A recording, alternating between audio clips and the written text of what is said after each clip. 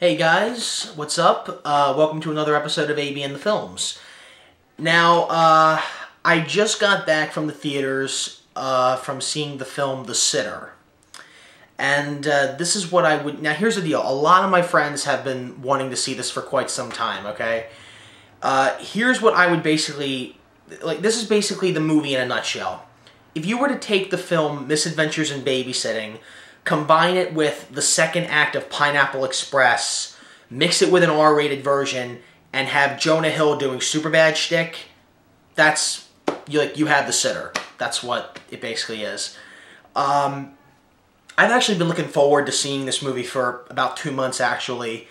Um, one reason that uh, it has interested me is, uh, well, first of all, the trailer just looks hilarious, but that's basically what everybody falls for. The trailer looks good, but then the movie is kind of a letdown at, in the end. Uh, for me, it wasn't. It wasn't. It wasn't really what I was expecting. Um, although I did know about the whole misadventures in babysitting rehashed plot, actually, because the trailer basically sums that up.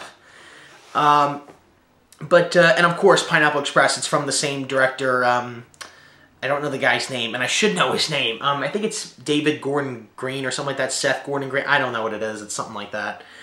Uh, but uh, here's something else. Um, this is Jonah Hill. I don't know if this means anything to anybody, but uh, it does to me. This is Jonah Hill's final film. Um, I don't want to say fat because that's too harsh, but uh, you know the way he's been looking over the last few years. Because when you see him on screen, you obvi- you instantly think of Superbad. So like this is the, this is his final film because he lost uh, so much weight. I'm still shocked how he did it because even I, I, I can't even do that. I mean, it's taken me a long time. I, I can never do that. But uh, anyway, about The Sitter. Uh, you know, it, it's not a movie you should rush out to see. Like, um, I would say if it, like, like, like when it comes out on DVD or Blu-ray or whatever, if, if it's on, or if it's even, even if it's on TV, I'd say give it a shot. But I, I wouldn't really watch it again. I mean, I'd, I'd watch it for the jokes. It, it has some laughs in it. But I don't want to say it's god awful because it really isn't, but it was a, it was kind of a letdown. Um, but there is one, there is another good thing I did like about this movie, and I'm so glad it didn't happen because I was afraid that's what was going to happen here.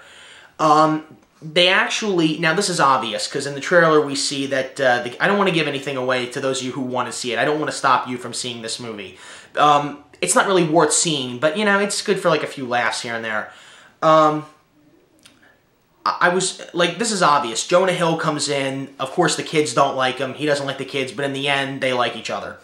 That's obvious, right? It's um, it's predictable.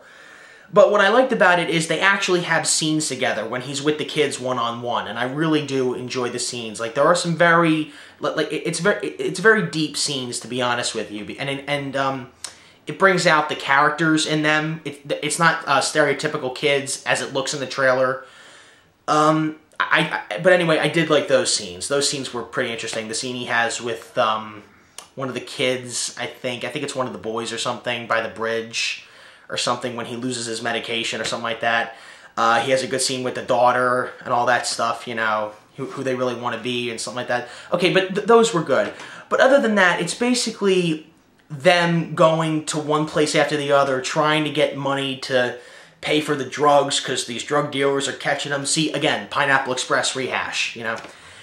Uh, so basically, I would say don't rush to the theater to go see The Sitter. I mean, like, if you want to watch a good movie, watch Misadventures in Babysitting. That was good. But uh, if you're looking for a Jonah Hill comedy, like, like watch Superbad. I'd say watch Superbad because that's that will be the movie he'll he'll be famous for for the rest of his life. I'm pretty sure of it. Um, I don't think you can top Superbad. um, or get him to the Greek. I like to get him to the Greek. I don't know if anybody else does, but I never ran into one person who said they didn't like Superbad. So, yeah, that's basically my review of The Sitter.